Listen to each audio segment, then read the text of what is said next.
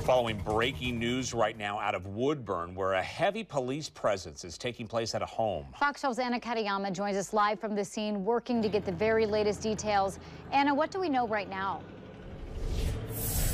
Well, Pete and Nora, we're standing along Highway 99E near the intersection with Lincoln and Woodburn. And I think you can see beside me the roadway is shut down here. It is closed between Lincoln and Hardcastle. And so Woodburn residents are being asked to avoid this area. Uh, if you, they need to travel, they need to find alternate routes. There's a lot of police cars out here tonight. I've been in contact with Woodburn's PIO, and they're unable to give me any details about what's going on. But we do know that they have been out here since about 4 o'clock this afternoon. Uh, we're told that they are looking for somebody.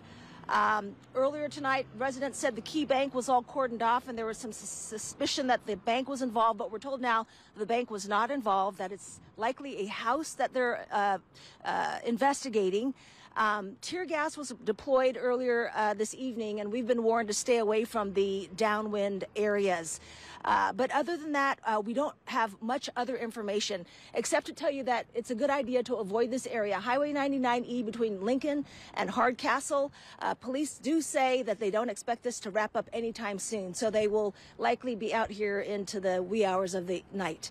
Uh, reporting live from Woodburn, Anna Katayama, Fox 12 Oregon.